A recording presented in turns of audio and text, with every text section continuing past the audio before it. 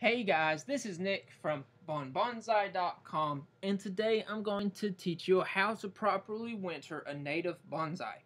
Now before I get started, I wanted to tell you about my bonsai ebook.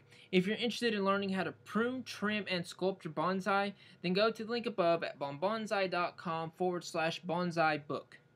Now, on to the topic at hand.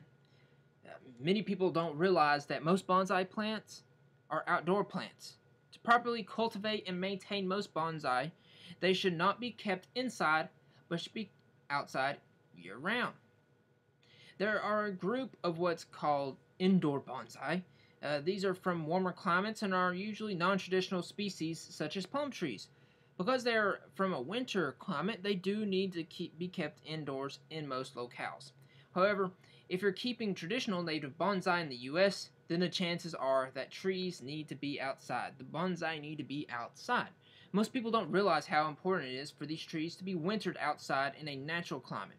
For your tree to have a healthy and natural growing cycle, it's critical for it to have this period of winter dormancy. To give your plant this necessary period, you'll need to winter it someplace outside. The best way to accomplish this is to remove the bonsai from its container and plant it in your yard. In most native trees, the roots are the part of the tree that are most sensitive to the cold.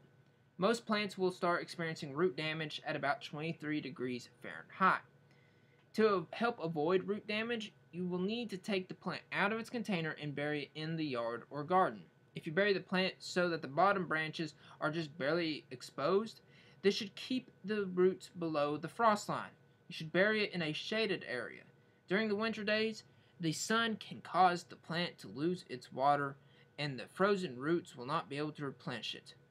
If you do not have a yard to plant a tree in for the winter, you can use a large container. A large container about the size of a vegetable crate should be sufficient. You bury the plant in the container just like you would a yard and set it somewhere outside where it will be exposed to natural elements.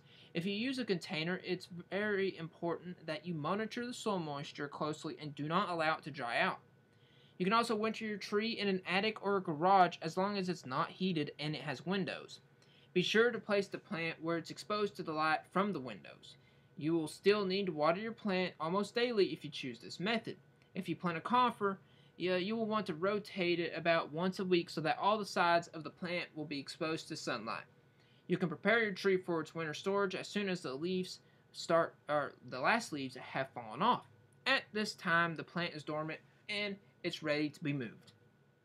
In the spring, you can remove it from the yard and place it back into the container as long as uh, or as soon as you see the first buds appear.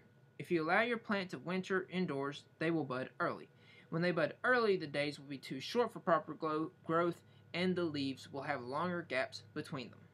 Well, that's all for this video. I hope that it helped you. Make sure you check the link above for my bonsai book, or bonsai ebook rather, and I'm going to be coming out with dozens more videos so, subscribe, like, or rather give me the thumbs up, and I'll see you in the next video.